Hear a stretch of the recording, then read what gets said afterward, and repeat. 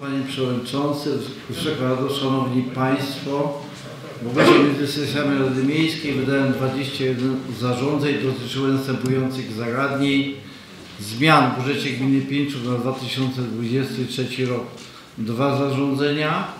Naboru przedstawicieli organizacji pozarządowych, po- podmiotów prowadzących działalność pożytku publicznego do pracy w komisjach konkursowych opiniujących oferty na realizację w 2023 roku zadań publicznych świadczonych na rzecz społeczności lokalnej gminy Pińczów, ustalenia terminów przekazywania przez jednostkę budżetową pobranych dochodów budżetowych w sprawie ustalenia terminów przekazywania przez jednostkę budżetową pobranych dochodów cztery zarządzenia, prowadzenia konsultacji społecznych z organizacjami pozarządowymi oraz podmiotami wymienionymi w artykule 3 ustęp 3 ustawy dnia 24 kwietnia 2003 roku o działalności pożytku pu- publicznego i wolontariacie projektu uchwały w sprawie przyjęcia programu opieki nad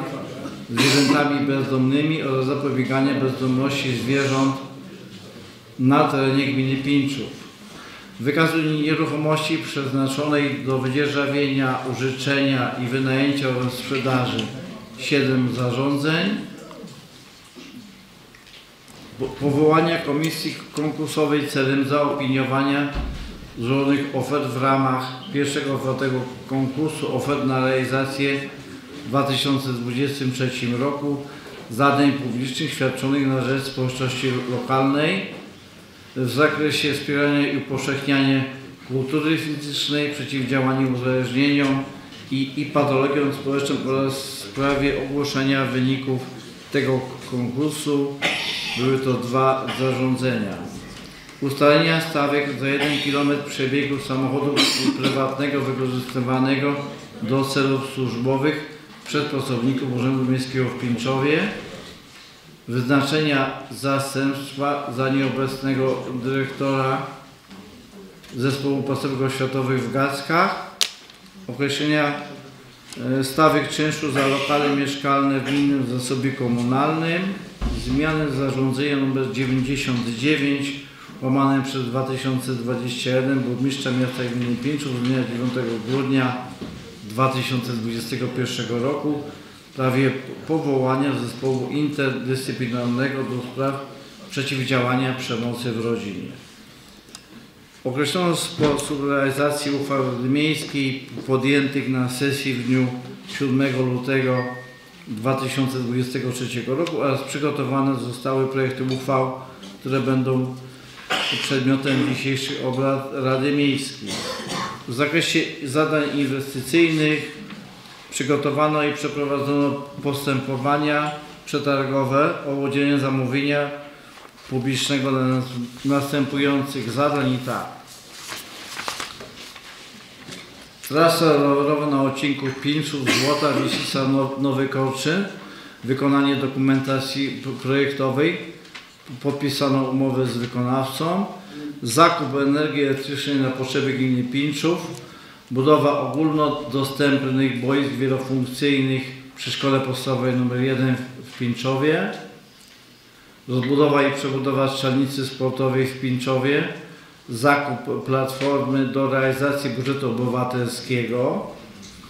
E, Bulwary nad Nidą Pińczowy wykonanie projektu technicznego. Zagospodarowanie terenu wokół Zalewu Pińczowskiego oraz terenu aeroklubu. Usługi sprzętowo-transportowe na terenie miasta i gminy Pińczów. Budowa infrastruktury wodno-kanalizacyjnej na terenie gminy Pińczów, etap pierwszy.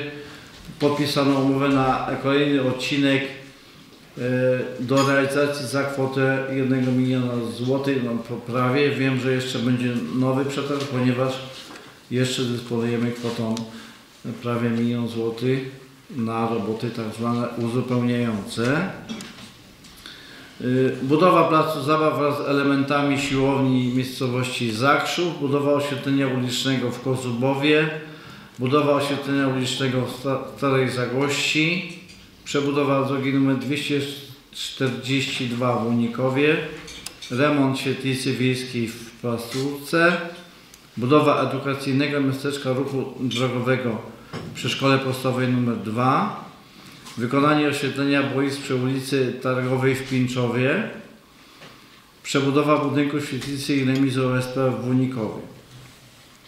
W zak- W zakresie y, zrealizowanych już inwestycji to wy- wykonano i przyjęto y, inwestycję pod nazwą remont ulicy Langiewicza w Pińczowie oraz zagospodarowanie terenu wokół świetlicy Woli Zagojskiej Dolnej. W zakresie ochrony środowiska i gospodarki przestrzennej realizowano następujące zadania. Wy, wykonano 17 wniosków o dofinansowanie i 7 wniosków o płatność w ramach y, programu Czyste Powietrze. Zawarto 10 umów na dotację montażu źródeł ciepła w budynkach y, mieszkalnych indywidualnych z budżetu gminy Pińczów. Wydano 10 decyzji o warunkach zabudowy, 4 decyzje celu publicznego. Zaopiniowano 3 wstępne projekty podziału działek. Wydano 44 zaświadczenia o braku miejscowego planu oraz 31 wypisów miejscowego planu i 8 wyrysów. Przeprowadzono 32 postępowania w sprawie usunięcia drzew na terenie gminy Pińczów i wprowadzono do Centralnej Ewidencji Emisyjności Budynków 9 deklaracji dotyczących ciepła i spalania pa- paliw. Wydano jedną decyzję dla projektu planu ruchu Zakładu Górniczego Kopalnia Gipsu Oleszcze Spółka Akcyjna.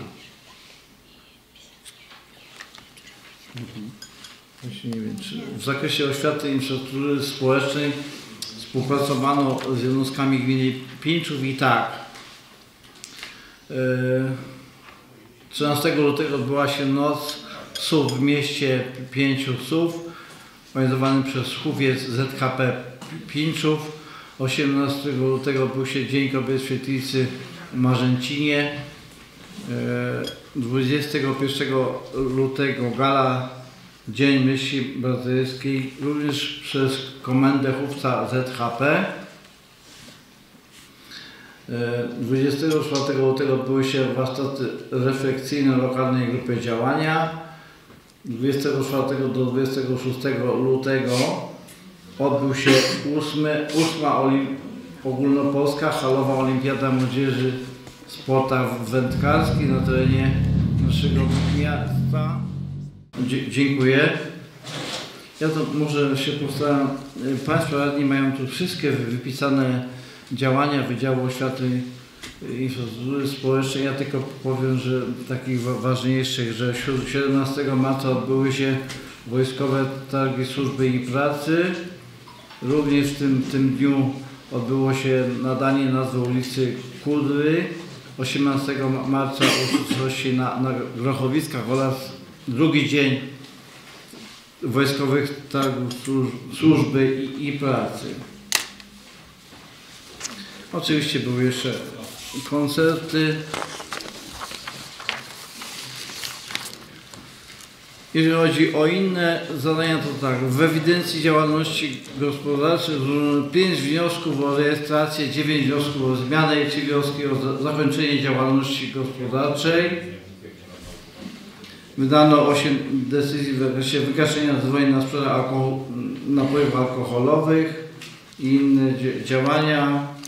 Jeżeli chodzi o wnioski, które złożyliśmy o do, dofinansowanie, y, to tak, otrzymano do, dofinansowanie na realizację zadania pod nazwą rozbudowa i przebudowa strzelnicy sportowej w Pińczowie w kwocie 747 tysięcy złotych.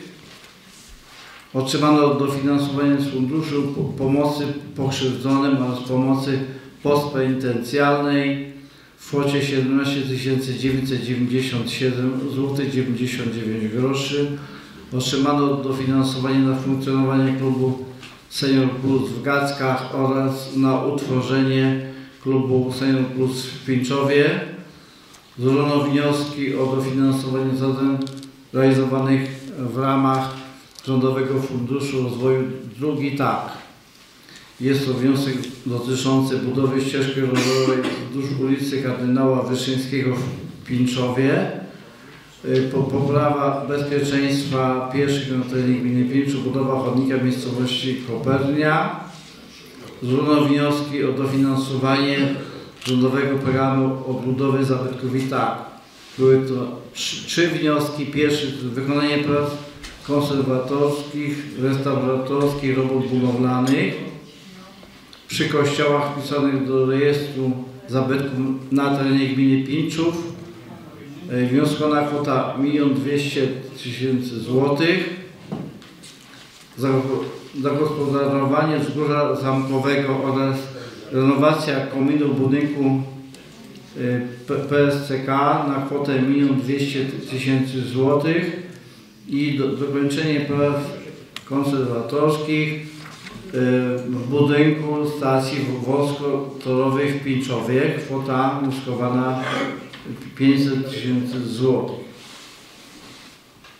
Również został wniosek w ramach rządowego programu ograniczania przestępczości społecznych razem bezpiecznie imi- imienia Władysława Stasiaka.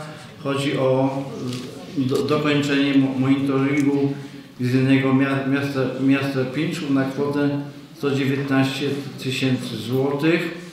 Również wniosek na e, e, renowację miejsca po pamięci na, Narodowej Cmentarzyka na Zawięzieniu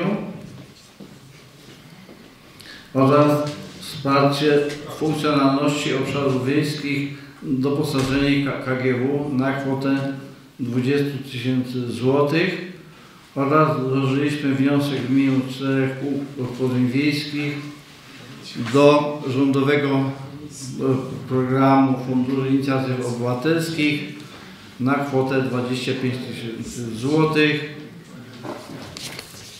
Jeszcze jed- jedno, jak mówiłem, 17 marca 2023 roku odbyło się nadanie nazwy ulicy Pudry. E, Oczywiście byli e, przedstawiciele, obecni byli przedstawiciele Ra- Rady Miejskiej, również byli go- goście zaproszeni z naszego miasta partnerskiego.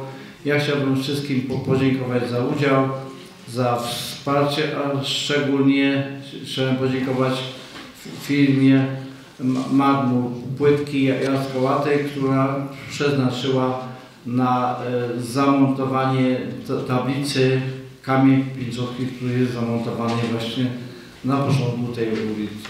Dziękuję ślicznie.